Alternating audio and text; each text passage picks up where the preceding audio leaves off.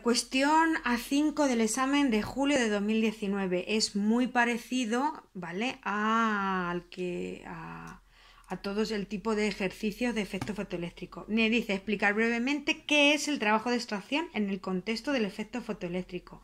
Bien, pues mm, los electrones están ligados al metal, ¿vale? Y se encuentran en un pozo de energía potencial del cual hay que, eh, hay que remontarlo para conseguir su extracción.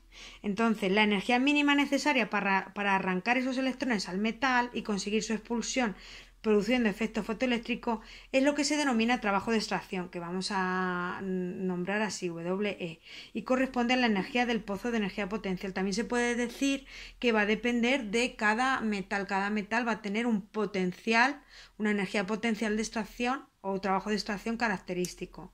Volvemos a poner eh, esta expresión que resume todo lo que es el efecto fotoeléctrico que la energía de los fotones incidentes se va a utilizar en vencer ese trabajo de extracción más darle energía cinética a los electrones expulsados. Así lo ponemos abreviado, e es igual a W más energía cinética a los electrones, y H por la frecuencia incidente es igual a H por la frecuencia umbral más un medio de la masa por la velocidad del electrón al cuadrado. Aquí es que pues voy a poner, ¿vale? Que son todas esas letras. Y así queda perfectamente explicado el efecto fotoeléctrico y explicado lo que es el trabajo de extracción concretamente en este ejercicio.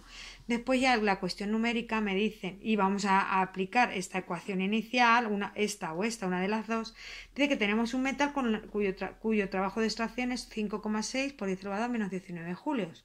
Se ilumina con luz monocromática y se observa que la energía máxima de los electrones emitidos, esa energía cinética, es 1,82 por 10 elevado menos 18 julios. ¿Cuál es la frecuencia de la radiación incidente? Y me dan la H.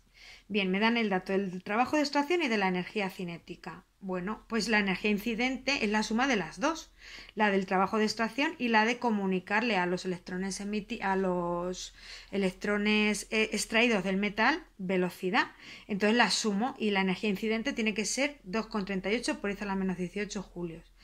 Pues viendo que la energía incidente la puedo poner como h por la frecuencia incidente, despejando frecuencia incidente, energía incidente partido por h, pongo los datos y me da que la frecuencia incidente es de 3,6 por 10 elevado a 15 hercios.